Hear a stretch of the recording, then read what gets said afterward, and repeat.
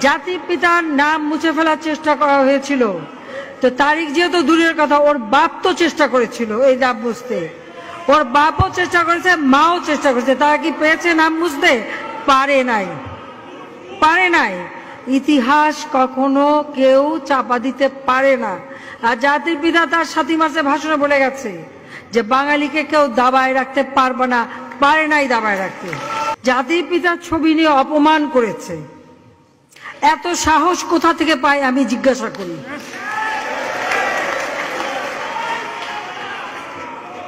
আমি জানি না আমাদের হাই কমিশনার এখন কারা বসেছিল এবং তারা সেখানে কিছুই করতে পারল না কেন সেটাও বড় প্রশ্ন। আর আমি আমার প্রবাসী প্রবাসী যারা বাঙালি, না না, আমার প্রবাসী বাঙালিদেরও আমি বলব যে যারা এই ঘটনাগুলি ঘটিয়েছে তারা চলাফেরা করে না, তাদের দেখেন না। যে হাত দিয়ে জাতির পিতার ওই ছবি নিয়ে তারা ভেঙেছে, তাদের যা উপযুক্ত করা উচিত সেটা করতে হবে। আসসালামু আলাইকুম, সম্মানিত দর্শক শ্রোতা মণ্ডলী, কেমন আছেন? আশা করি সবাই অনেক ভালো আছেন। দেশ কিংবা দেশের বাইরে দূর দূরান্ত থেকে যে বাজার এখন থেকে এই মুহূর্তে আমার এই ভিডিওটা দেখছেন, তাদের সবাইকে জানাচ্ছি আন্তরিক শুভেচ্ছা এবং অভিনন্দন। সম্মানিত দর্শক শ্রোতা মণ্ডলী, আজকের এই ভিডিওটা খুবই গুরুত্বপূর্ণ, অত্যন্ত ইম্পর্টেন্ট তাই আশা করব ধৈর্য সহকারে পুরো ভিডিওটা আপনারা একটু সম্পূর্ণ দেখবেন। সম্মানিত দর্শক শ্রোতা মণ্ডলী, আপনারা সকলেই অবগত আছেন রানী দ্বিতীয় এলিজাবেথের শেষকৃত্যে মাননীয় প্রধানমন্ত্রী শেখ হাসিনা অংশগ্রহণ করতে তিনি লন্ডনে গিয়েছে এবং সেই সাথে সাথে জাতিসংঘের সাতাত্তরতম অধিবেশনে তিনি অংশগ্রহণ করার জন্য যুক্তরাষ্ট্রের সরকারি সফরে তিনি রয়েছেন। লন্ডনে প্রধানমন্ত্রী শেখ হাসিনা গিয়ে প্রধানমন্ত্রীর ভাষণে তারেক রহমান এবং বিএনপি নিয়ে কিছু গুরুত্বপূর্ণ কথা সামাজিক যোগাযোগ মাধ্যমে রীতিমতো ভাইরাল হয়ে পড়েছে। যেখানে দেখা যাচ্ছে, লন্ডনে গিয়ে প্রধানমন্ত্রী বক্তব্য দিতে গিয়ে তার কথার মাঝে, তার বক্তব্যের মাঝে বিএনপি চেয়ারপারসন ভার বিএনপির ভারপ্রাপ্ত চেয়ারপারসন তারেক রহমান এবং বিএনপির সকল নেতাকর্মীদের উপরে একটু ক্ষোভ প্রকাশ করেছে।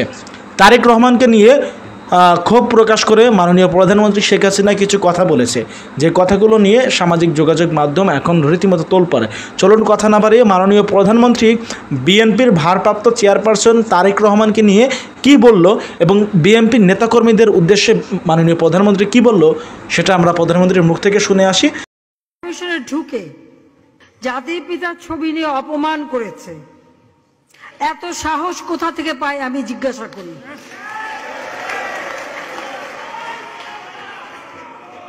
আমি জানি না আমাদের হাই কমিশনার এখন কারা বসেছিল এবং তারা সেখানে কিছুই করতে পারল না কেন সেটাও বড় প্রশ্ন। আর আমি আমার প্রবাসী প্রবাসী যারা বাঙালি, না না, আমার প্রবাসী বাঙালিদেরও আমি বলব যে যারা এই ঘটনাগুলি ঘটিয়েছে, তারা চলাফেরা করে না, তাদের দেখেন না। যে হাত দিয়ে জাতির পিতার ওই ছবি নিয়ে তারা ভেঙেছে তাদের যা উপযুক্ত করা উচিত সেটা করতে হবে। কারণ জাতির পিতার নাম মুছে ফেলার চেষ্টা করা হয়েছিল। তো তারিখ যেহেতু দূরের কথা, ওর বাপ তো চেষ্টা করেছিল এই নাম বুঝতে। ওর বাপও চেষ্টা করেছে, মাও চেষ্টা করেছে। তারা কি পেয়েছে নাম বুঝতে? পারে নাই। পারে নাই। ইতিহাস কখনো কেউ চাপা দিতে পারে না। আর জাতির পিতা তার সাথী মাসে ভাষণে বলে গেছে যে, বাঙালিকে কেউ দাবায় রাখতে পারবে না। পারে নাই দাবায় রাখতে। তা আজকে এত বড় দুঃসাহস হয়ে যায়। হ্যাঁ আমি প্রধানমন্ত্রী এসে আমারটা যা করুক, ওটা আপনি কিছু মনে করি না। কিন্তু যিনি আমাদের জাতির পিতা, যে আইন আছে, সেখানে হাত দেবে এত সাহস থেকে পেল?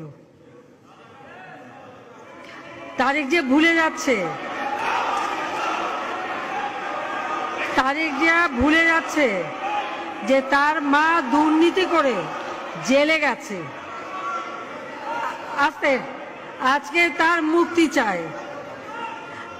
মুক্তি চাইতে হলে তাকে আইনগত ব্যবস্থা নিতে হবে। মুক্তি চাইতে হলে আইনগত ব্যবস্থা নিতে হবে। এখানে আমরা তো মুক্তি দিতে পারি না, অথবা রাষ্ট্রপতির কাছে ক্ষমা চাইতে হবে। হয় রাষ্ট্রপতির কাছে ক্ষমা চাইতে হবে, আর নয়তো আইনগতভাবে তার মামলা লড়তে হবে। এছাড়া তো আর কোনো পথ নাই। আমি তো রাজনৈতিকভাবে গ্রেপ্তার করিনি। যদি রাজনৈতিকভাবে গ্রেপ্তার করতাম, তাহলে আমি করতাম দু হাজার তেরো সালে, করতাম চোদ্দ সালে দু হাজার পনেরো সালে, যখন সে আগুন দিয়ে পুড়িয়ে পুড়িয়ে মানুষ হত্যা করেছিল।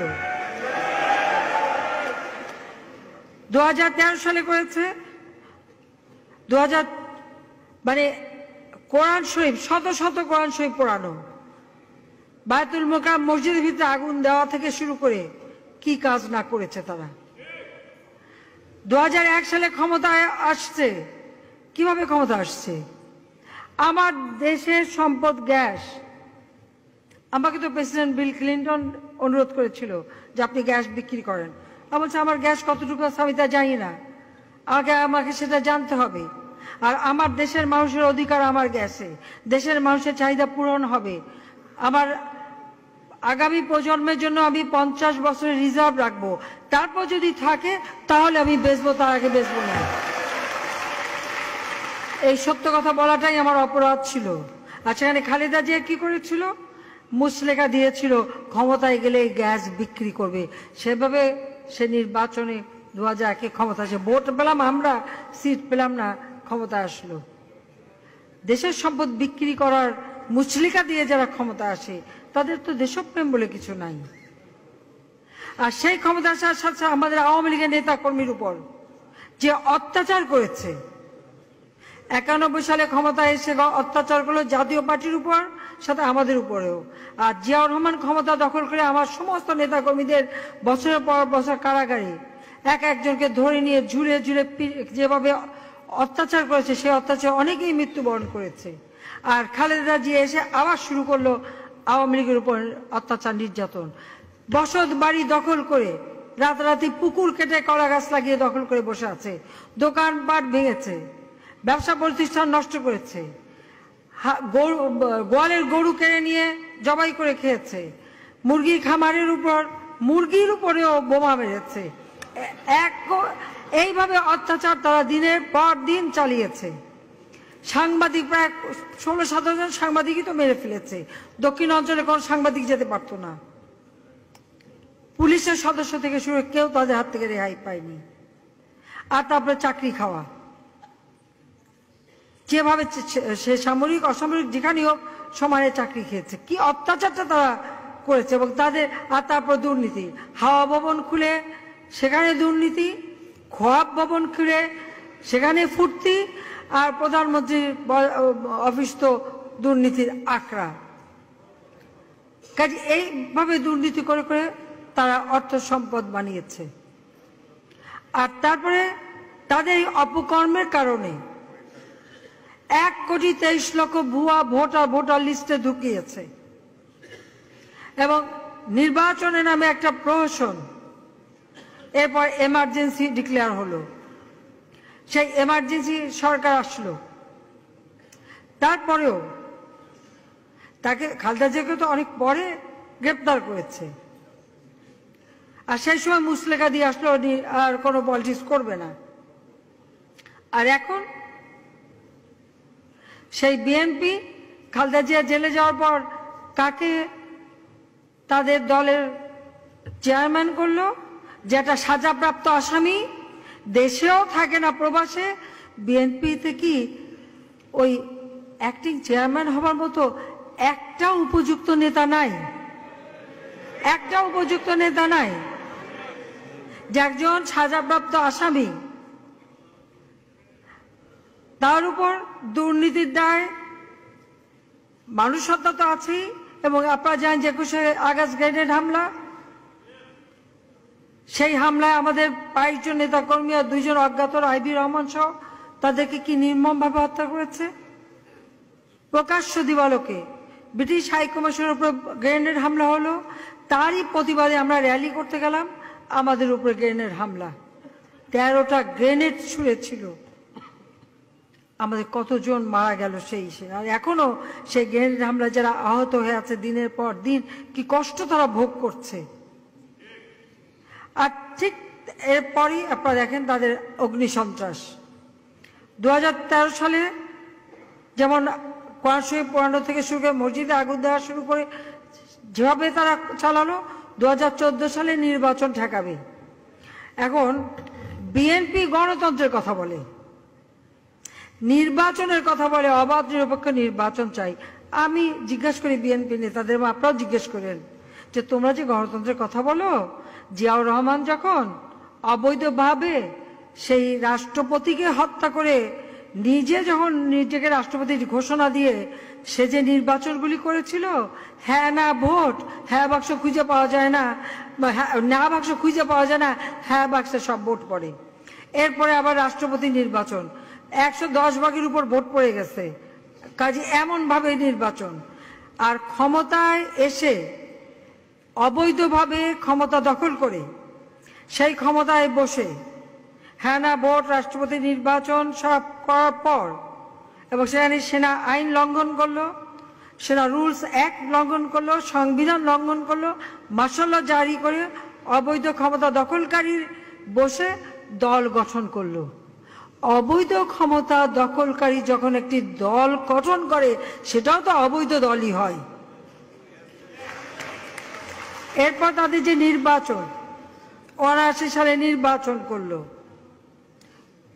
সেই নির্বাচনের নামে যে প্রহসনটা সে প্রহসনের কথাটা ভুলে গেছে? এক দল বানালো, দল হাঁটতেও শিখলো না, চলতেও শিখলো না, তারা মেজরিটি পেয়ে গেল টু থার্ড মেজরিটি পেয়ে গেল। এই যে ভোট নিয়ে যে দুর্নীতি, কারচুপি, ভোট নিয়ে যে খেলা, এটা তো তারাই শুরু করেছে, জিয়াউর রহমান শুরু করে দিয়ে গেছে।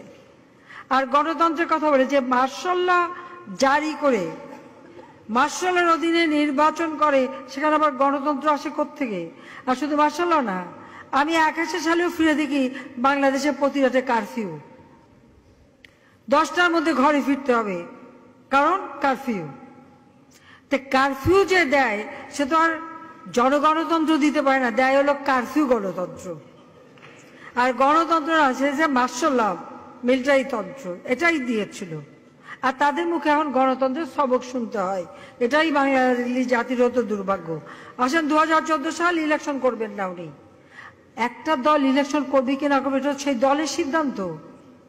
আমি চেষ্টা করেছি, ফোন করেছি। ফোনে যে ঝাড়িটা খেলাম, সেটা তো আপনারা নিজেরাও জানেন, এখনও বোধহয় পাবেন ইউটিউব খুঁজলে, টুলে কীরকম বকাঝকা।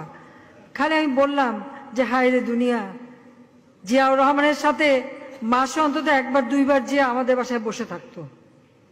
মোড়া পেতে বসে থাকতো। জিয়াউর রহমান বউটুক সাথে নিয়েই যেত, কারণ তাহলে একটু তাড়াতাড়ি উপরে উঠতে পারে, মার সাথে দেখা করা উচিত আর তাকে ফোন করি আমি দেশের সাথে, গণতন্ত্রের সাথে, আর সে আমাকে ঝাড়ি মারি। এটাই হচ্ছে দুর্ভাগ্য। আমি এমনও বলেছিলাম যে, আসেন আমরা পার্লামেন্টে যারা আছি, সবাইকে নিয়ে সরকার গঠন করব। যে মিনিস্ট্রি চান আমি সেইটা দেব। না উনি ইলেকশন করবেন না। খুব ভালো কথা। ইলেকশন না, করবে না বলে যেভাবে মানুষের উপর আক্রমণ এবং মানুষ হত্যা শুরু করল, আগুন দিয়ে পুড়িয়ে পুড়িয়ে পাঁচশো বিরাশিটা স্কুল পুড়িয়ে দিল। প্রিজাইডিং অফিসার, সব প্রিজাইডিং অফিসারকে হত্যা করল। ষোলো জন পুলিশকে হত্যা করল। বিদ্যুৎ, বিএনপির আমলে বিদ্যুৎ নাই।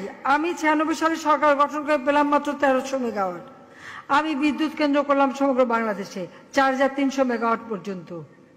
আর সেই বিদ্যুৎ কেন্দ্র পোড়ালো ইঞ্জিনিয়ারকে আগুনের মধ্যে ফেলে দিয়ে পুড়িয়ে মারলো ওই খালেদা জিয়া। এই খালেদা জিয়া, তারেক জিয়া গং।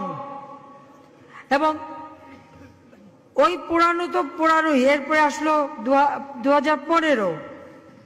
নির্বাচন ঠেকাতে পারেনি কারণ জনগণ এগিয়ে এসেছে। জনগণ ভোট দিয়েছে। আমরা জনগণের ভোটে নির্বাচিত সরকার এসেছি। তারা নির্বাচন থেকে উড্ড করে দিয়েছে। উড্ড করে দিলে সেখানে যদি প্রার্থী না থাকে, তাহলে তো আনকনটেস্টেড হবে। এটা তো কোনো মানে অস্বাভাবিক ব্যাপার না, স্বাভাবিক ব্যাপার। তার ইলেকশন করেনি কেন? কে তাকে বাধা দিয়েছে? এতবার চেষ্টা করলাম, তারপর করল না। তারপর আসলো দু তিনি এসে বসলেন গুলশানেই বাড়ি, গুলশানেই অফিস গুলশান অফিসে তিনি বসলেন কি? আওয়ামী লীগ সরকার উৎখাত না করে ঘরে ফিরবে না। বিরিয়ানির প্যাকেট যায়, আর ওখানে বসে খায়, আর মানুষ খুন করা, মানুষ পুড়িয়ে মারা হুকুম দেয়। বিভিন্ন জেলায় যে মানুষকে যেভাবে আগুন দিয়ে দিয়ে পুড়িয়েছে, চলন্ত বাসে আগুন, ট্রেনে আগুন, সিএনজিতে আগুন আপনারা চিন্তা করতে পারেন যে সিএনজি ড্রাইভার বসা তাকে বাড়ি থেকে আটকায় দিয়ে তার গায়ে পেট্রোল ঢেলে আগুন দিয়ে পুড়িয়ে দিল। একটা প্রাইভেট কার ড্রাইভার তাকে থামালো। ড্রাইভারটাকে বাইরে বের করে তার গায়ে পেট্রোল দিচ্ছে, লোকটা চিৎকার করছে ম্যাজের কাঠি দিয়ে তাকে আগুন দিয়ে দিল। তারপরে মলটপ ককটেল মারা পুলিশ, পুলিশের কি অপরাধ? রাস্তার মধ্যে কীভাবে পিটিয়ে পিটিয়ে পুলিশ হত্যা করেছে, কীভাবে পুলিশকে মেরেছে, আপনারা দেখেছে প্রায় সাতাশ জন আইন শৃঙ্খলা রক্ষাকারী সংস্থাকে হত্যা করল। প্রায় তিন হাজার পঁয়ত্রিশ জনকে তারা পুড়িয়েছে এবং তার উপরে পাঁচশোর মতো মানুষ আগুনে পুড়ে নিহত হয়েছে। অনেকেই পোড়া ঘা নিয়ে এখনও মানবত জীবন যাপন করছে এবং ধীরে ধীরে মৃত্যুর করে ঢলে পড়ছে। প্রায় সাড়ে তিন হাজারের উপর বাস, ট্রাক, গাড়ি পুড়িয়ে ছাড়খার রেল, যে রেল লাইন খালেদা জিয়া সমস্ত বন্ধ করে দিয়েছিল, আমি আবার রেল চালু করলাম, নতুন নতুন বগি কিনলাম, ইঞ্জিন কিনলাম, সেখানে আগুন দিয়ে পোড়ালো। প্রায় উনত্রিশটা রেল পুড়িয়েছে, নয়টা লঞ্চ পুড়িয়েছে, সত্তরটার উপর সরকারি অফিস পুড়িয়ে দিয়েছে, ছয়টা ভূমি অফিস পুড়িয়ে দিয়েছে, হাজার হাজার গাছ কেটে, রাস্তা কষ্ট করে রাস্তা বানাই রাস্তা কেটে কেটে দিয়েছে। এটা হচ্ছে তাদের আন্দোলন। যাদের আন্দোলন, মানুষ খুন করা, সাধারণ মানুষকে পুড়িয়ে হত্যা করা, তারা কি করে গণতন্ত্রের কথা বলে? তারা কি করে মানবাধিকারের কথা বলে? তারা আবার কি করে মানবাধিকারের দাবি করে আর গণতন্ত্রের দাবি করে? যারা, যাদের জন্মই হয়েছে অগণতান্ত্রিক ভাবে যাদের জন্মই হয়েছে অবৈধ ক্ষমতা দখলকারী দ্বারা, যাদের জন্ম সৃষ্টি হচ্ছে অবৈধ, তাদের কাছে আবার গণতন্ত্রের সবক শুনতে হবে বাংলাদেশের জনগণকে। এটাই হচ্ছে দুর্ভাগ্য আমাদের। তারা এখন গণতন্ত্রের প্রবক্তা, আর যারা নির্বাচন সবসময় মানে রিক করে ইলেকশনে জিতেছে, তাদের ইলেকশনে জেতাটাই তো ছিল দুই নম্বর করা। যেমন মুসলেখা দিয়ে নির্বাচনে জিতলো। অথবা ভোট চুরি করা, ভোট ডাকাতি করা। এই ভোট ডাকাতি কারা শিখিয়েছে? এরা শিখিয়েছে। সম্মানিত দর্শক শ্রোতা মণ্ডলী, আপনারা প্রধানমন্ত্রীর মুখ থেকে খুব গুরুত্বপূর্ণ কিছু কথা এবং বক্তব্য শুনতে পারলেন। স্যালুট জানায় মাননীয় প্রধানমন্ত্রীকে লন্ডনে সত্য বক্তব্য প্রদান করার জন্য। প্রিয় দর্শক শ্রোতা মণ্ডলী, প্রধানমন্ত্রী যে কথাগুলো বলেছে, সেই কথাগুলো প্রসঙ্গে আপনারা কি বলতেছেন? আপনাদের মতামতটা কমেন্ট বক্সে কমেন্ট করে জানাবেন। তারেক জিয়াকে নিয়ে, তারেক রহমানকে নিয়ে প্রধানমন্ত্রী যে কথাগুলো বললেন, সেই কথাগুলো সম্পর্কে আপনার মতামত কি? ভিডিওটা বেশি বেশি শেয়ার করবেন। যারা এখনও পর্যন্ত আমাদের এই চ্যানেলটা সাবস্ক্রাইব করেননি, তারা অবশ্যই আমাদের চ্যানেলটা সাবস্ক্রাইব করে পাশে থাকা বেল বাটনটি ক্লিক করে রাখবেন, পরবর্তী আপডেট পাওয়ার জন্য। ভালো থাকবেন, আল্লাহ হাফেজ।